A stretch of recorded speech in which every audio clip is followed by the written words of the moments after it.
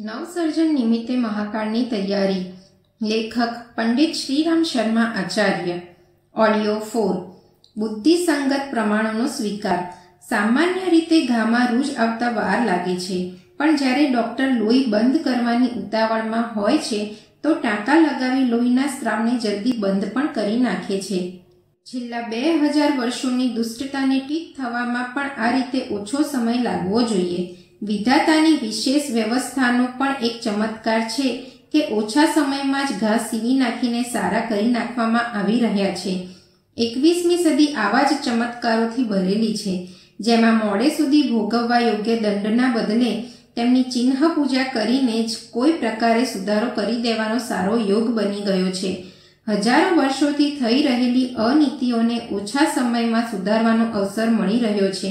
અને ઉદ્દંડોને ઈચ્છિત દંડ આપવાની જગ્યાએ ફક્ત ડરાવી ધમકાવીને જ સાચા રસ્તે ચાલવાનો પ્રબંધ થઈ રહ્યો છે. જ્યારે મનુષ્ય અવળું વિચારે અને કરે છે, તો તેનું પરિણામ પણ ભયંકર હોય છે. પણ જ્યારે યથાર્થતાને ઓળખી તથા સ્વીકારી લેવામાં આવે છે, તો મોટી ભૂલો પણ થોડી જ વારમાં સમજમાં આવી જાય છે અને તેનું સમાધાન પણ જલ્દીથી થઈ જાય છે. વીસમી સદીનો અંત એવો જ છે જેમાં સમજદારી ઝડપથી પાછી વળી રહી છે અને સુધારાનો કાર્યક્રમ ઝડપથી થઈ રહ્યો છે. જે ભૂલ લાંબા સમયથી ચાલી રહી છે અને દરરોજ એક પછી એક બીજો ત્રાસ ઉત્પન્ન કરી રહી છે, તે આટલી જલ્દીથી સુધરી પણ શકે છે.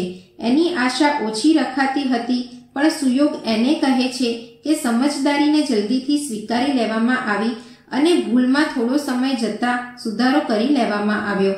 વાવેલ બીજ જ થોડા સમયમાં અંકુર બનીને ફૂટે છે અને જરૂરી ખાતર પાણી આપ્યા સિવાય તે છોડ અને ઝાડ બની જાય છે.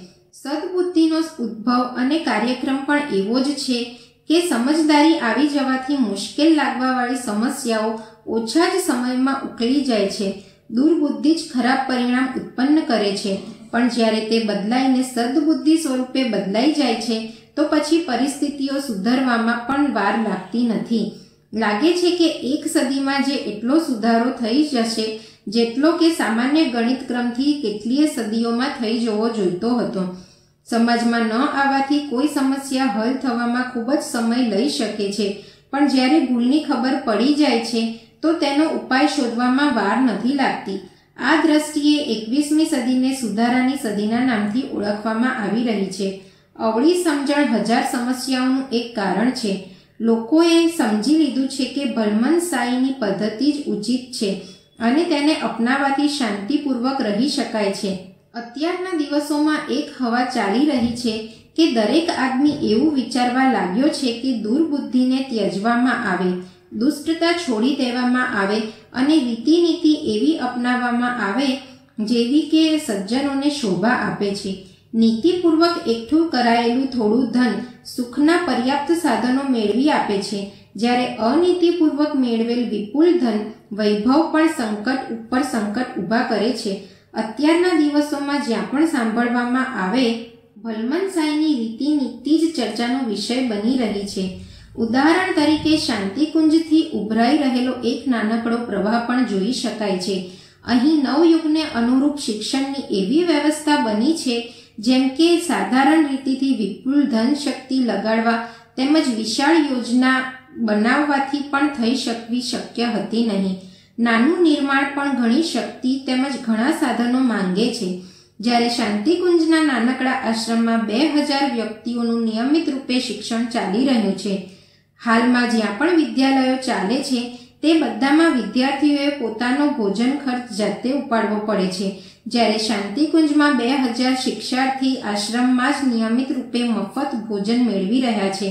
આ વ્યવસ્થા એટલા માટે કરવામાં આવી છે કે અમીર ગરીબની વચ્ચે કોઈ પ્રકારનો ભેદભાવ ના રહી જાય. કોઈ નિર્ધનને ફરિયાદ કરવી ન પડે કે અમારી પાસે ભોજન ખર્ચ હોત તો અમારે આવા મૂલ્યવાન જ્ઞાનથી વંચિત શા માટે રહેવું પડત? શિક્ષણ ફક્ત વાણીથી જ ચાલે છે. તેનાથી જાણકારી જ મળે છે જે કાનના માર્ગે મગજ સુધી પહોંચે છે.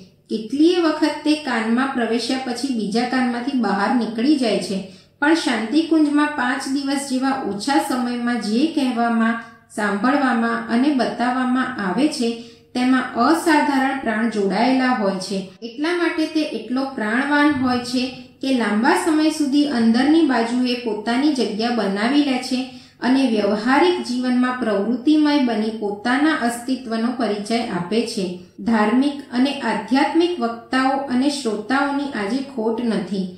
જ્યાં થોડું વધારે આકર્ષણ હોય છે, ત્યાં મોટી સંખ્યામાં લોકો એકત્રિત થાય છે.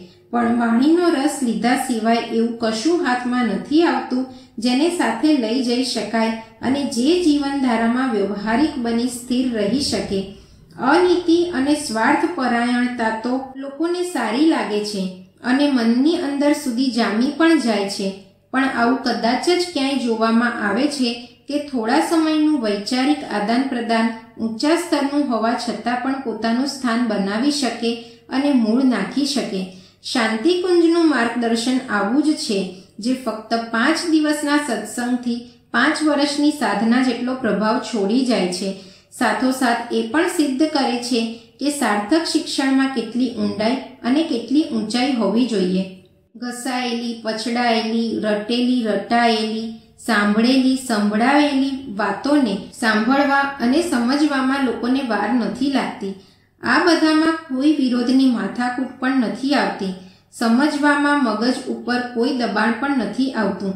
પણ સમયની સાથે ચાલવાવાળા યુગ ધર્મમાં આવી અનેક વાતોનું સંમિશ્રણ હોય છે, જેમાં નવીનતા પણ રહે છે અને જે વિવાદાસ્પદ પણ સમજવામાં આવે છે, તેને સ્વીકારવા અને હૃદયમાં ઉતારવા બુદ્ધિ ઉપર દબાણ પણ ખૂબ પડે છે.